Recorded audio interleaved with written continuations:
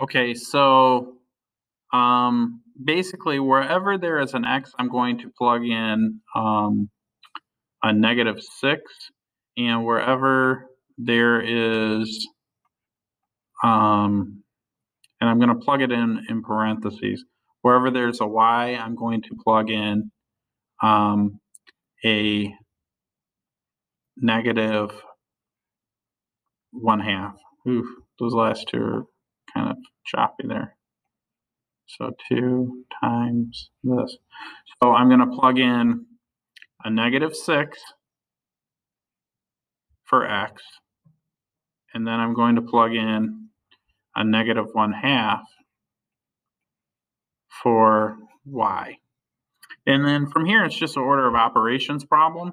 So what I need to do is I need to do the work on the inside first. So negative 6 negative 6 squared is the same as negative 6 times negative 6.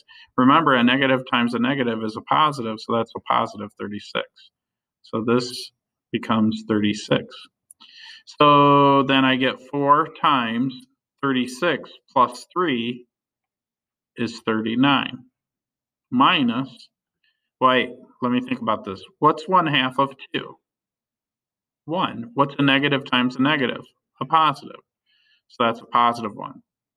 Lastly, I'm going to multiply 4 times 39. Um, that equals 156 plus my 1. So then my final answer is 157.